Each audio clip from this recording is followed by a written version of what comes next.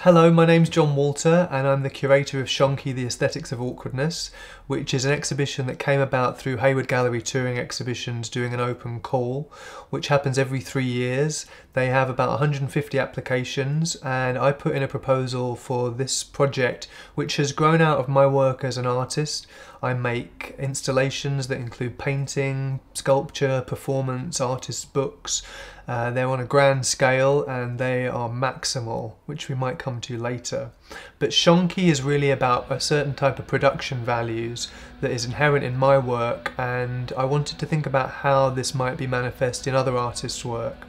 And so this exhibition brings together artists from the UK and abroad, uh, some alive, some dead, and working in a variety of media, some analog and some digital, to think about the role that the hand, uh, awkwardness, lumpenness, distortion, dissonance, bad taste, and queer politics, which are some of the themes, might play in making an alternate art history, I suppose, for myself and how I might fit into the art world. And this is really uh, a mega work, a kind of uber work made out of 14 artists' work.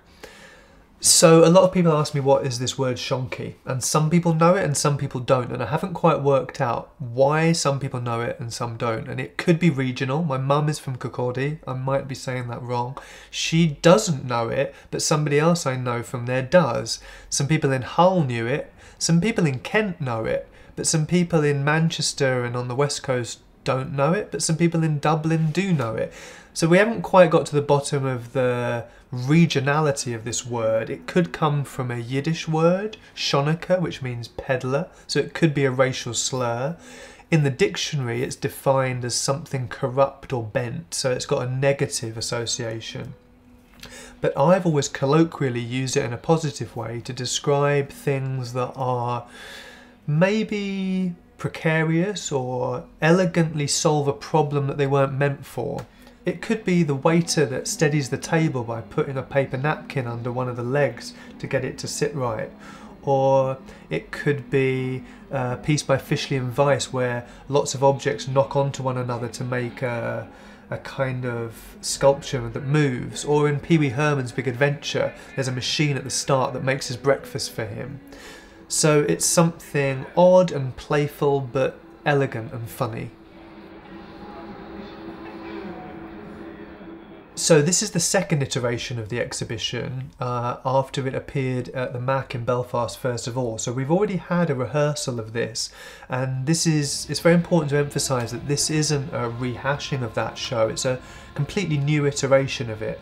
And as the show travels, I learn more about it and the rest of the team working on it get to understand it. So it's a matrix. I mean, this is several works by several artists that can be recombined into different combinations to make new outcomes. And that's what I mean by maximalist in the sense that this is a complex work that can be reformed to uh, describe new spatial and conceptual and emotional possibilities.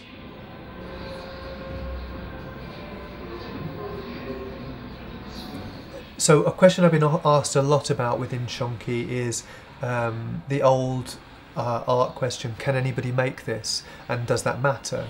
And I think that my answer to that is anybody can make anything if they decide to, but that we put the emphasis on the democracy of the making within Shonky.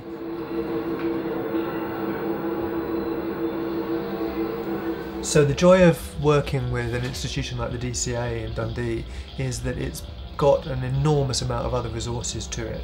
So as well as the exhibition in the galleries, there's an opportunity to work in the print shop and there's also a lot of education workshops, the activity room and also a cinema program that takes certain uh, film and moving image works that could be considered shonky and allows them up for discussion.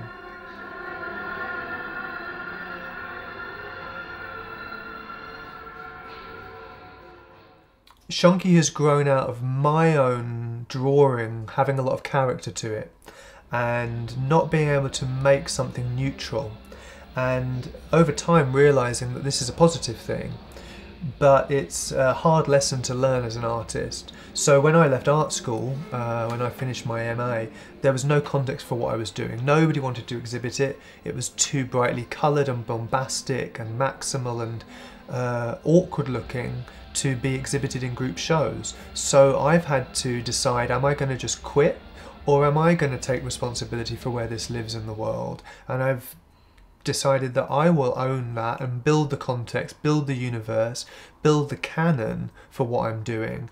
And curating is one aspect of that, and Shonky is the latest version of that. And I would say to everybody that you have to build your own art history and decide who are your peers, who are the people that influenced you, what is the work that you like and are interested in, and what is the work that you're not interested in, and what don't you need. And there will be prevailing taste at any given moment in time and history.